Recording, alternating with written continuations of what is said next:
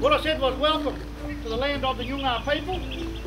First of all, we're going to do the smoking ceremony, so no evil spirits come along.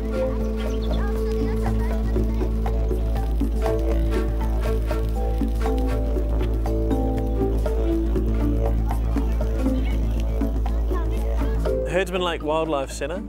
We're now celebrating our 21 years of being in this building. 21 years ago there was nothing here. This was a vision by a number of educators who wanted a place where we could bring students to experience and learn about their environment. My role here is uh, as the centre manager. I uh, am employed by the Department of Education and Training and uh, uh basically my role here is to make sure that our program is, is tied in with the curriculum. Well, Herdsman Lake is about 7,000 years old. And you and I weren't here 7,000 years ago, but the people who were here were the Noongar people. That's the, the Aboriginal people here. In the last couple of years, we have developed our Indigenous training program too that we have.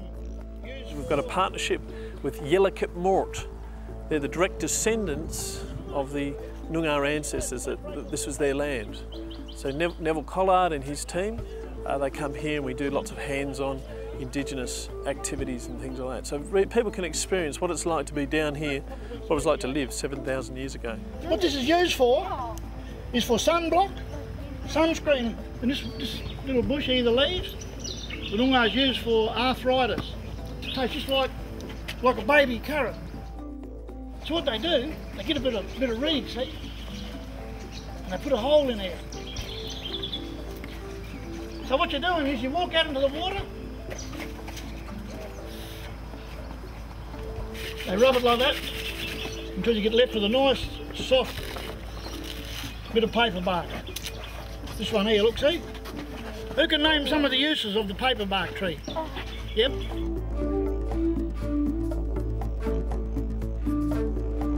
Herdsman Lake is what we call a wetland biome and it's made up of a number of different smaller ecosystems or habitats and uh, they're named after the dominant species. So the one, the first one is the one we're standing in.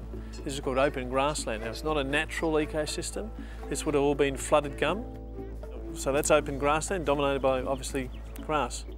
You will see that there are a number of different other ecosystems. One is our paperbark ecosystem or Melaleuca.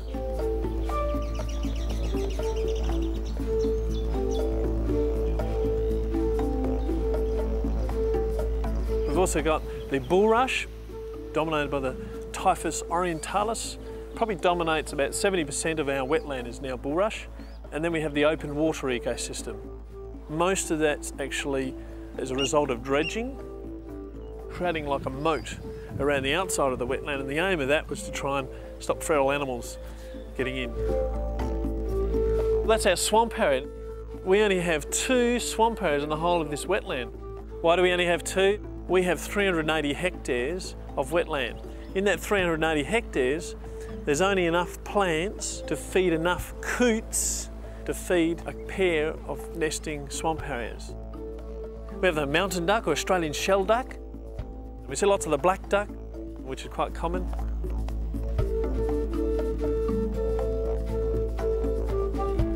We have little grebes and hoary-headed grebes. Black swans, you'll see many black swans down here, all nesting You'll see their babies. Pelicans come in. Under the eaves of our wildlife centre, there are welcome swallows. And they're busy, all busy having babies now because there's lots of insects around. I think the most fascinating thing that's down here and something that really thrills the students is when they see a tiger snake. Its favourite food are the frogs down here. I probably see uh, two tiger snakes uh, a week all year round and I don't even look. Herdsman Lake is one of the largest wetlands within any metropolitan region anywhere in the world. And so it's a fantastic place. It's amazing that it's preserved. If this was in Amsterdam or any other place in, anywhere in the world, we'd have millions of visitors here. And we do get a lot of international visitors coming here. It's a favourite birding site. We want to nurture a passion for nature and so that people get passionate about nature, they experience it, and they learn to value it. Whoa. Kids come along and they hear all this stuff happening, and they can see wildlife and you see the interaction between the different species happening right there. It's really cool.